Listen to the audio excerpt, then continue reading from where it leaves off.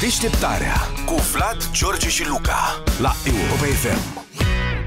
România suferă de o boală cronică veche, gravă și foarte costisitoare pe care toate, toate partidele care au deținut și încă mai dețin puterea, uh, o întrețin de zeci și zeci de ani pentru că beneficiază direct de această suferință.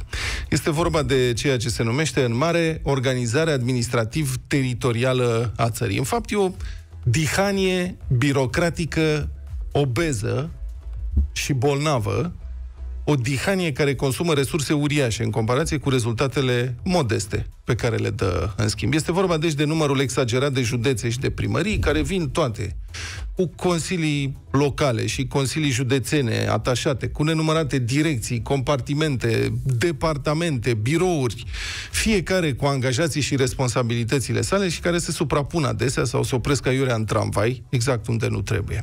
Statul plătește salarii pentru peste 315.000 de persoane angajate în aparatul administrativ funcționăresc al acestor nenumărate structuri locale. Iar în privința primăriilor, după ce Liviu Dragnea le-a dat posibilitatea să-și stabilească singuri salariile, cu speranța că va obține astfel sprijin politic necondiționat pentru ideile lui, primarii și oamenii lor și-au stabilit salarii uluitoare, în imensa majoritate a cazurilor, fără nicio legătură cu bugetele locale, cu situația bugetelor locale. Poate ați auzit zilele trecute de primarul din Crevedia, Crevedia care a fost in the news, cum se spune în această toamnă, din cauza exploziei de acolo. Uh, primarul din Crevedia și-a crescut salariul cu 70% peste noapte, adică aproape 6.000 de lei brut, ceea ce îl va duce acum la un salariu net de peste 10.000 de lei, plus sporuri, că se adaugă întotdeauna sporuri de condiții vătămătoare de lucru și toxicitatea mediului și de creșteri similare vor beneficia și ceilalți angajați ai primăriei. Paznicul, de exemplu, va avea salariu de 4500 de lei brut, plus sporuri.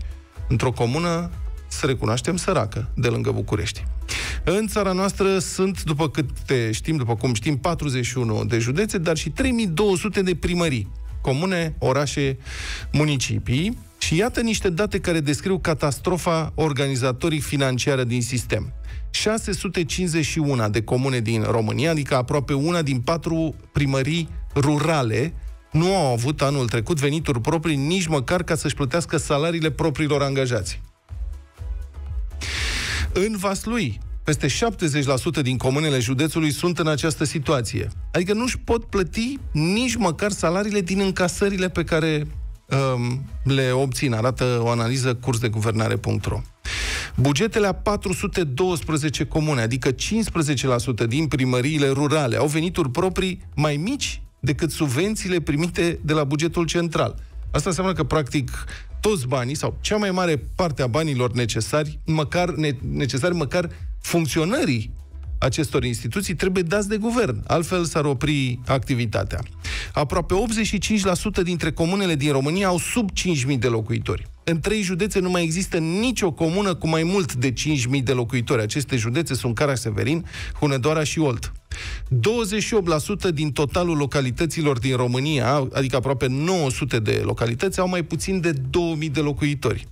100 au mai puțin de 1000 de locuitori. Dar toate acestea au și primării și consilii locale cu numeroși amploiați.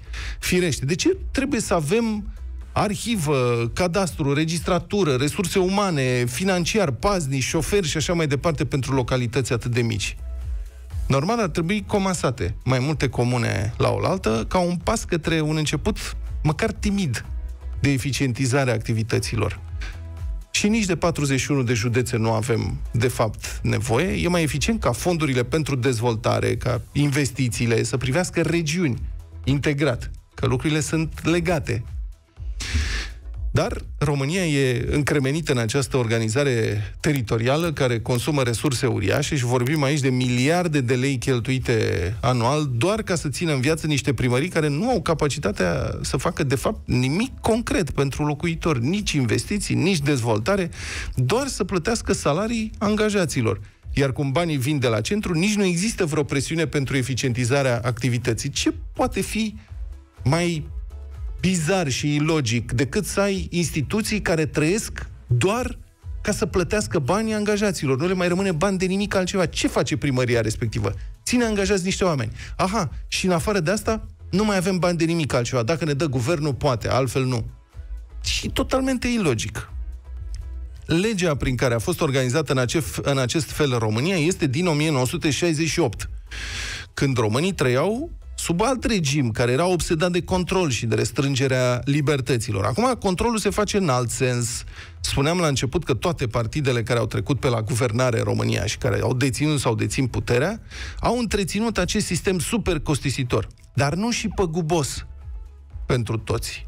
Adică este păgubos pentru contribuabili, dar foarte profitabil pentru aceste partide care se bazează pe structurile locale plătite din bugetul de stat ca să adune voturi pentru ele. Asta fac primarii. Strâng voturi pentru partide în timpul campaniilor electorale și se ocupă de alegeri. Lucru pentru care aceste structuri sunt apoi recompensate cu salarii și cu câte un contract contracțoi contracțel din faimosul și de altfel foarte coruptul plan de dezvoltare gestionat direct de guvern banii care sunt evident și șperțuiți după aceea și de clientela politică. Și până când România nu va reuși să scape de această dihanie administrativ-teritorială cu ADN feudal, nu vom putea spune că trăim într-o țară modernă. Deșteptarea cu Vlad, George și Luca la Europa FM.